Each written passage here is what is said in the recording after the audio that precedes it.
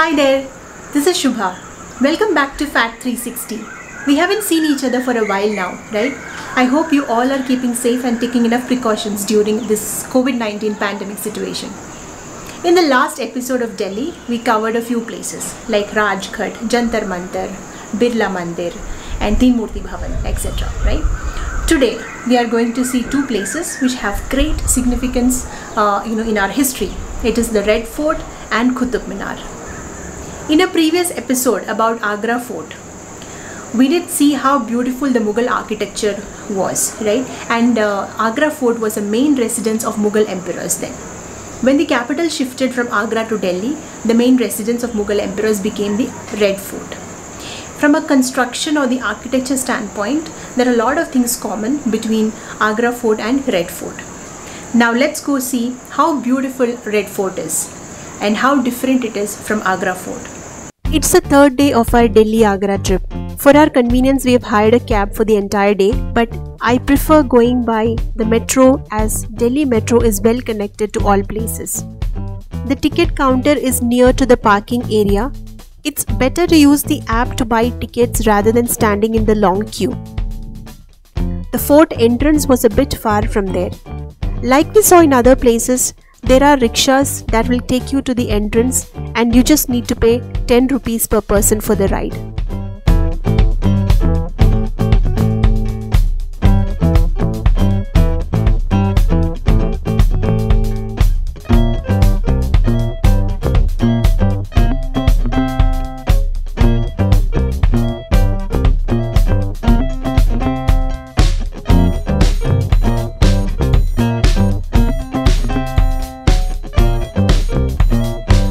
A very familiar view, right?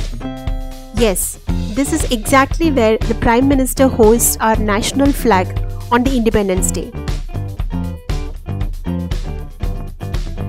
Red Fort is a massive palace made in red sandstone. In 1638, Shah Jahan moved the capital from Agra to Delhi, and it was during this time that the Red Fort was built. It took a decade to build Red Fort, and it is said that it is much more well planned than the Agra fort. The Red Fort became the seat of Mughal kingdom until it fell in the hands of the British.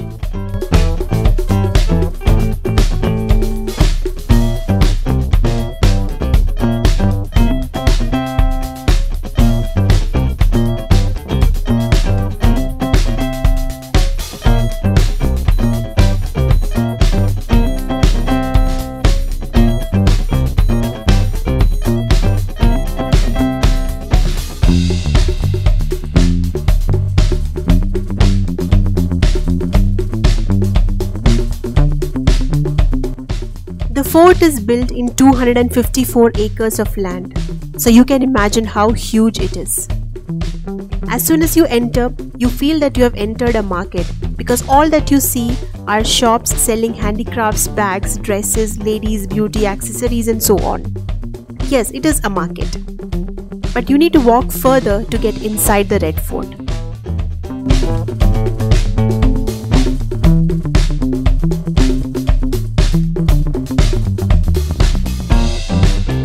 Entrance is a drum house where the musicians used to play during ceremonies. It is followed by the Diwan-i-Am, which is the courthouse for common people.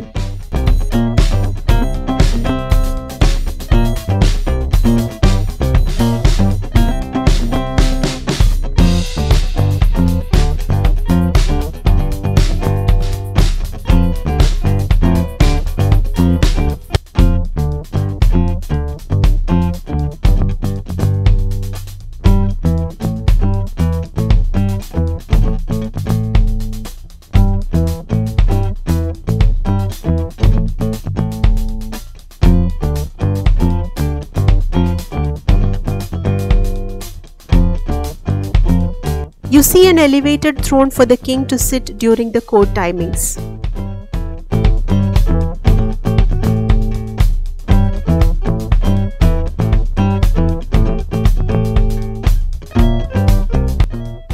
Look at how vast the entire complex is.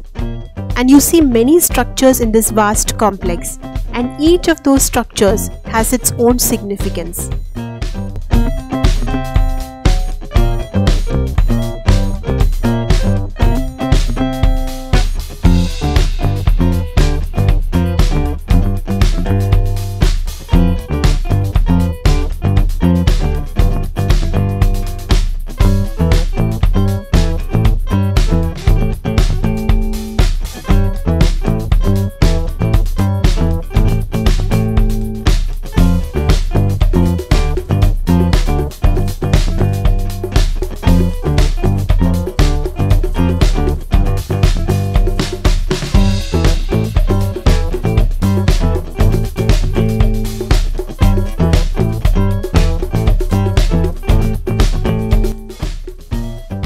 Design of the gardens in the Mughal architecture stands out for its beauty.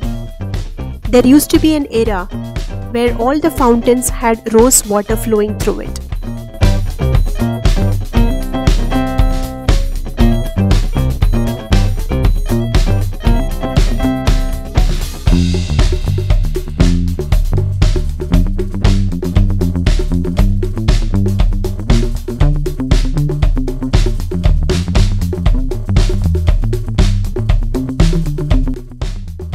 We are off to the iconic tower that stands for victory.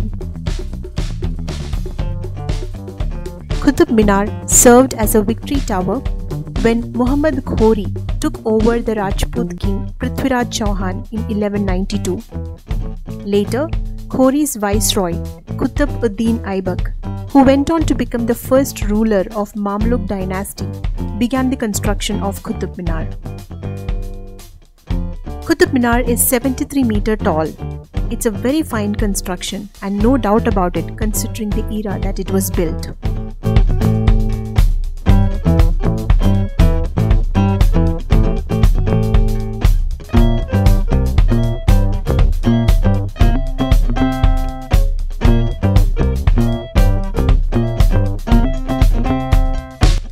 This is the world's tallest brick tower and has remained here for 800 years. The Qutub complex has Khawat Al Islam Mosque, Alai Darwaza, Alai Minar, Alauddin's Madrasa and Tomb, Iron Pillar, the tomb of Imam Zameen, Sanderson's Sundial, and Major Smith's Cupola.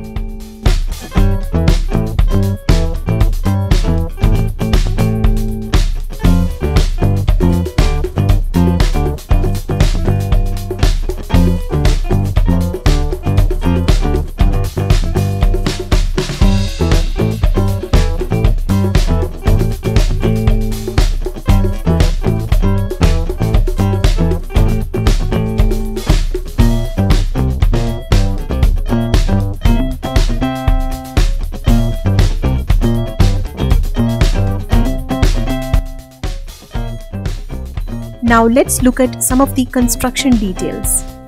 The first, second and the third stories are made of pale red sandstone.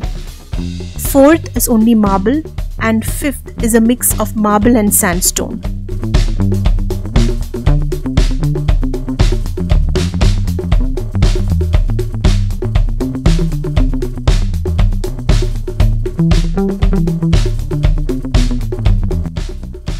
Structure has a diameter of 14.32 meters at its base and it tapers upwards and reaches to 2.75 meters.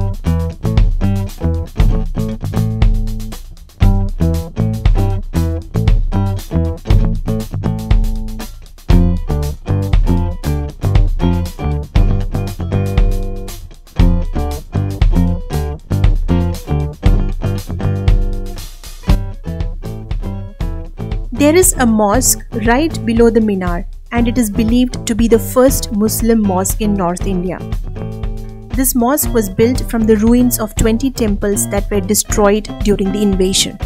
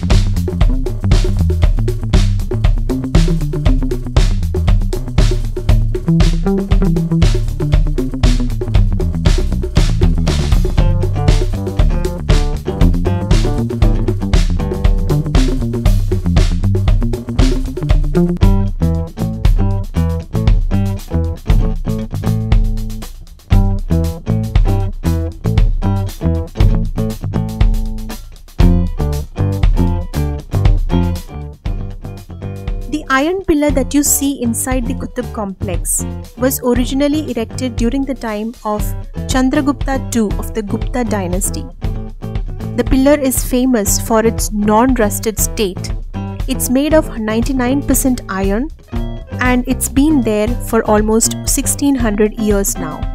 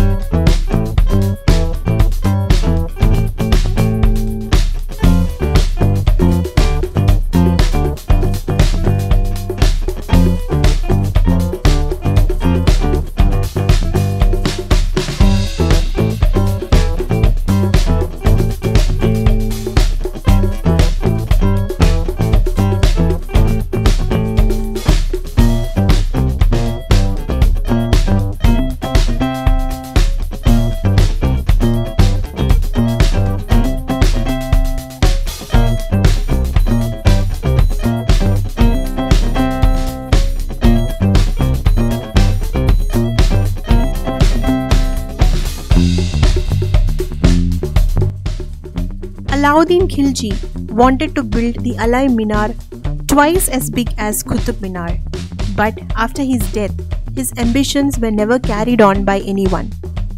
Today, Alai Minar stands at 27 meters to the north of Qutub Minar.